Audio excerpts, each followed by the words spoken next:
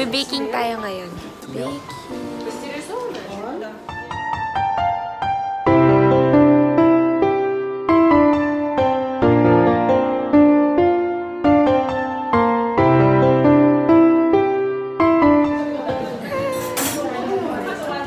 My pancake.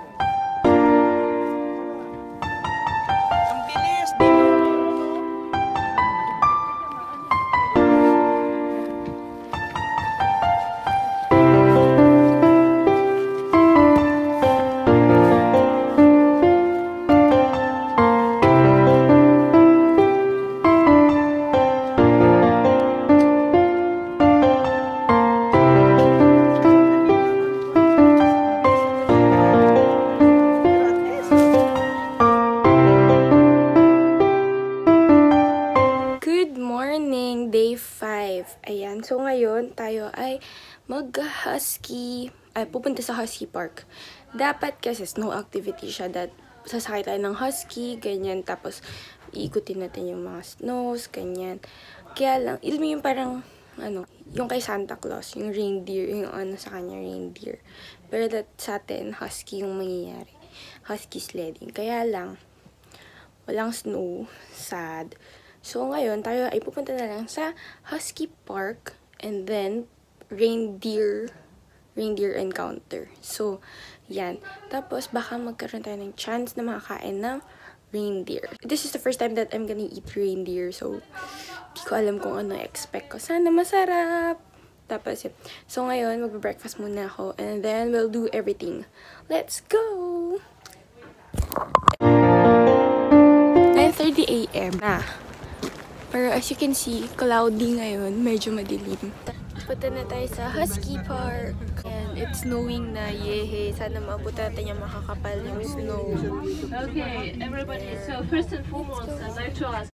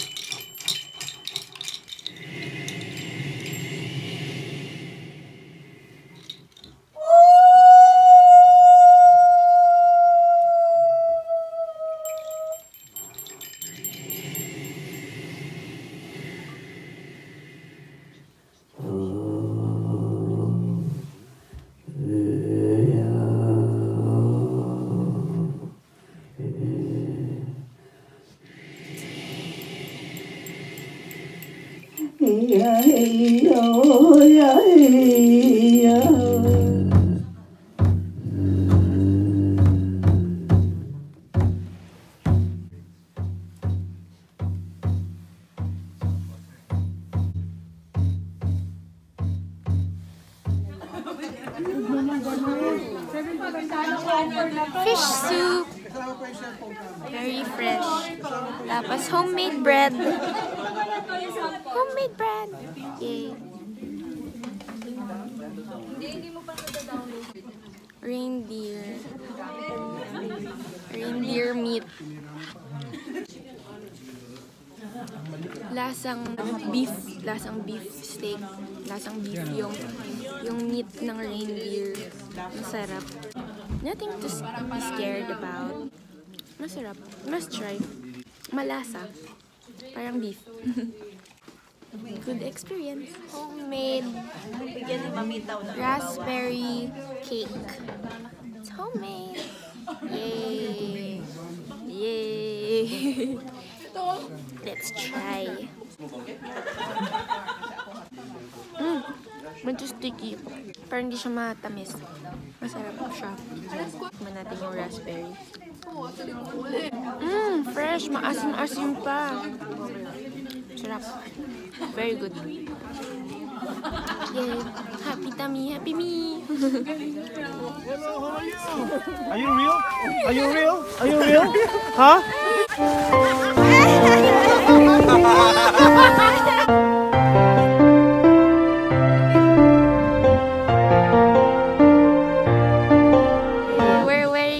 Traditional Sami outwear. Hello.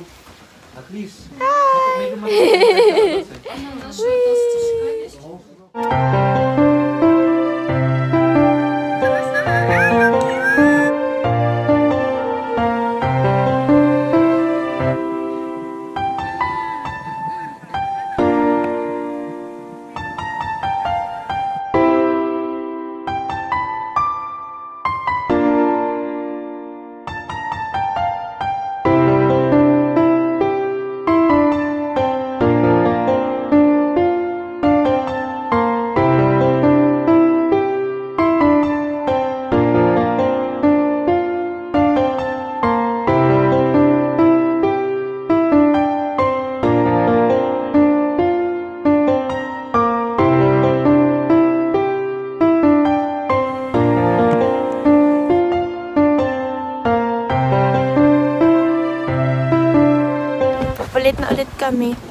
Goodbye, penguin life.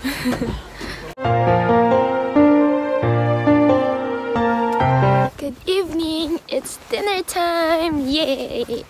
Grabe, sobrang saya kanina. Nakita tayo ng huskies na napakarami. Tapos, um, reindeers. Tapos, ang cute-cute ng little boy. Tapos, ang sarap ng food. Reindeer meat.